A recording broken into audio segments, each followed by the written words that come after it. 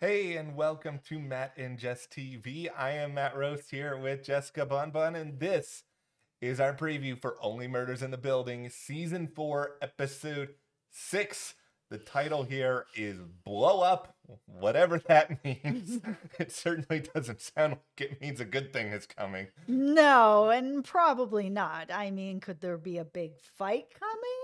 Yeah, I think at the very least, like they have to resolve what happened at the end of this past episode, where, you know, I, I Mhm. said in the review, and we have that linked in the description, that I think one of the brothers' sisters was probably taken out because, like, one of them wasn't really accounted for in, like, the final minutes of that episode. Yeah, and I mean, it- good on you. You guys tried really hard to make all of us think that the brother sisters were behind it all, Yeah. and with them, one of them is missing. Are they the person behind it? And it's like, no, they're not. Like, they're not going to tell us this halfway through. It's like, by the way, it's these guys. Yeah, I also feel like this cliffhanger's got to be one that's resolved pretty fast because this was a very Yeah. crowded room. Like, Very. shouldn't somebody be aware of who is responsible for whatever happened here? Because it didn't, to me, I didn't get a full layout of that room. I don't know if this is something that, you know, another sniper was involved in. It just didn't feel that way. No, this feels like whatever is happening at this point, somebody was in a bit of a desperate situation and Yeah. decided to take the opportunity. And now we're going to be going into a really interesting episode where it's going to be a bit experimental, where they're going to be using a lot of like cell phone footage and security cameras and the brother sisters documentary and like it's all going to be sort of found footage which you know could it's a it's a big risk. It could Yeah. be really fun. It could be really uh, i don't know doesn't work out. It's tough. I mean we all remember the blair witch project when it was a bunch of found footage. It was was really good especially at that time there was nothing like it Like, I'm. I will give you guys a little bit of credence that okay, you know what you're doing with this. Maybe this will be a very, very interesting episode. We'll dive more into it, but before mm-hmm. we do, be sure to hit that subscribe button because we are here three times a week. We have reviews and previews for Only Murders in the Building up on Tuesdays, on Wednesdays. We have theories, and you know, there's always going to be a lot of great stuff to talk about with this show. So, thank you guys so much for your support and subscribing. Also, if you want to support us further, be sure to join our Patreon for Mhm. just $5 a month. It helps support Matt and I here at the channel to continue to make videos for you guys. And it allows you access to our polls that you can vote in. That helps decide what we're going to be covering here at the channel and also what shows we're going to be covering exclusively on Patreon just for our Patreons. Right now, we're covering The Penguin over Mhm. there just for our Patreon. So thank you so much to everyone who has joined. Thank you guys so, so much. We really, really appreciate that. Okay, so according to the Hollywood Reporter, this whole episode, like I mentioned, is all shot on cell phones, security cameras, found footage.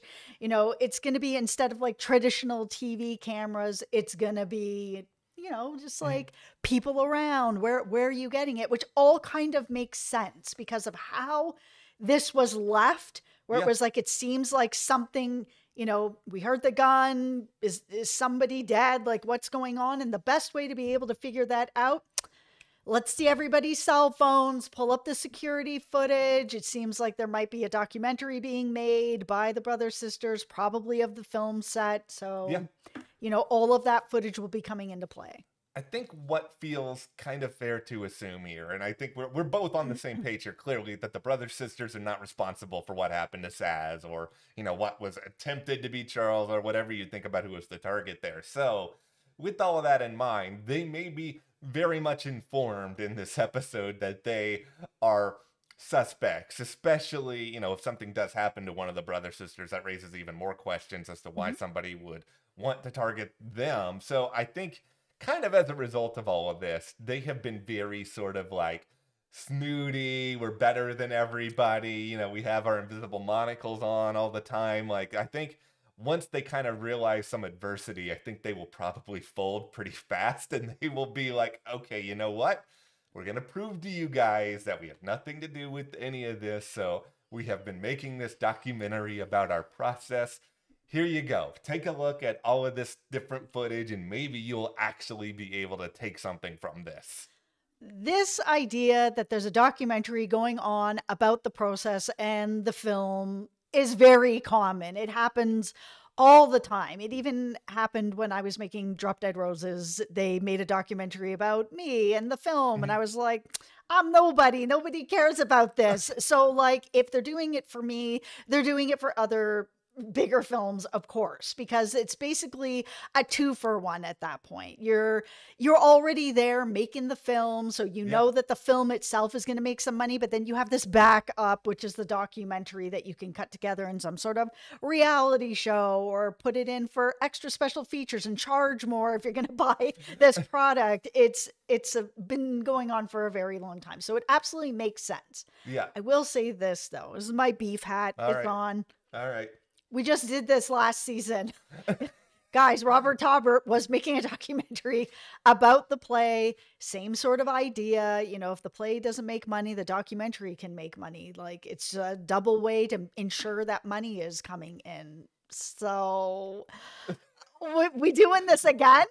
well, I mean, even the concept of found footage. I mean, this is far from the first show that has done something like this. This is not like a big and jaw dropping twist on format. I'm sure with it being only murders, it can still be really, really fun. But I think in terms of trying to solve the mystery here, there's there's a few different questions we can wonder about. But I think number one to me anyway is when did they first decide to start making this? Because mm-hmm. we know from Sazz that Sazz was pretty worried about things related to the movie before she ended up dying. So this idea of the movie being in development has been around for a while. But if this documentary was being made way, way back then, then you can kind of get a sense of like, okay, who were there on the ground floor?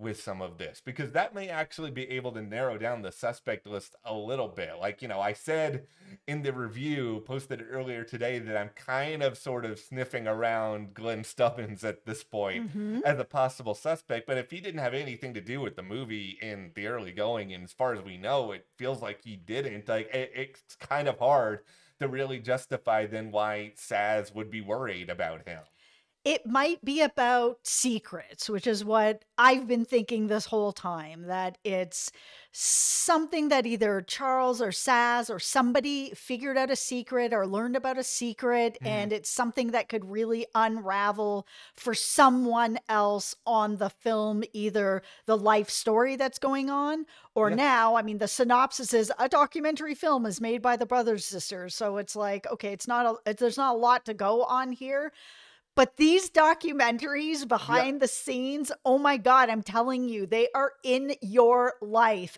everywhere in your life, where it's like, oh, don't worry.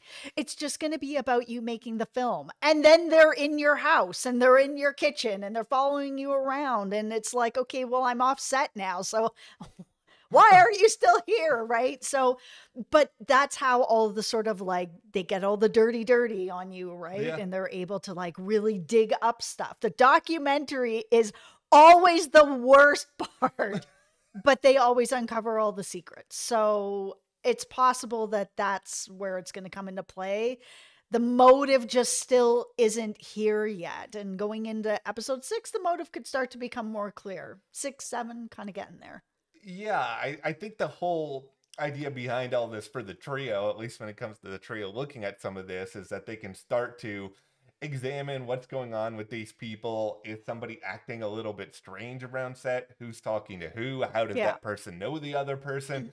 the other thing that I'm kind of wondering about is okay, well, how much does the casting crew know about this documentary being made? Because nobody has mentioned it through the first five episodes here at all. And mm-hmm. judging from the fact that we're using cell phones and security cameras in this episode. What are the brother sisters trying to do some sort of like guerrilla filmmaking here where they're just doing all of this in secret? Yeah, that's the that's the thing about this documentary film. Like, is it that it's really gonna be the way a traditional documentary would be. We saw Robert Tobert going around with a camera. That yeah. is the way that it normally is, right? But these are the brothers, sisters. So they might be doing it in a different way to get a different kind of feel. That's my hope, anyways, because. Mm. We haven't seen anybody documenting this film. So where yeah. are they? what I'm ultimately hoping comes out of this episode in particular is just that we have opportunities to focus on a few more people that are working on the movie because Mhm. just going back to the very start of this season like I felt very strongly that the killer was probably one of those people who was there out in Hollywood who we saw very very briefly I'm not talking about Bev or Marshall the writer or the brother sisters but like one of these other people who was attached to it this actually does give us an opportunity to look a little bit more at some of these individual suspects. And what we know about Only Murders in particular is that they're pretty clever when it comes to dropping in a line that may connect somebody to somebody else in a way in which we don't think about. Like, and a good way to think about this would be is one of these people who's working on this movie maybe a part of a card game that was mentioned earlier in Mhm. the past that you know Mhm. Sazz put Charles onto. It feels like that's like a little something that's going to come back at some point and they've got like these little hints like that that we have to sort of be watchful on. Yeah, I mean the if we're still following the formula of the show, then typically whoever the murderer is is introduced in like episode 1 or 2 and then they kind of disappear until Yeah. like episode 6 or 7 and then they become more prominent again and then it's revealed that they're the killer. That happened with Jan, that happened with Poppy. It's Yeah. it happened with Cliff and Donna. like it's happened every single season. So whoever was in episode 1 that we saw very briefly like Uh, some of the you know handshakers at the beginning of this where it's like oh hey we're meeting you on the movie like nice to meet you i'm you know bob cool we haven't seen bob again but if bob shows up next episode then we know it's bob Here's the one crummy thing about this documentary is that while they have all this footage that's out there, I'm sure they do not have an iota of footage of what actually happened the night No. They're not, there's no way the documentary was over in the Dudenoff place. Like, I think no this is really going to be about what happened on set that's what i think i think it's Yeah. going to really be like we need to see what's happening cool the brothers and sisters have been secretly filming everybody let's go and look at the security cameras Yeah, I think it- it's going to be a pretty cut and dry episode in that sense. I think this is going to be I think it'll be funny at times. I do think it will be unique, but I Mhm. I don't think we should come into this thinking, okay, we're to for sure know the killer. We may just know more suspects. And this may be frustrating to a lot of people because I do think in general this has been a very fun season. Like so mm-hmm. far it's really up there with the first two seasons for me. If there is a major criticism of it right now, it's that okay, we have everybody with the film.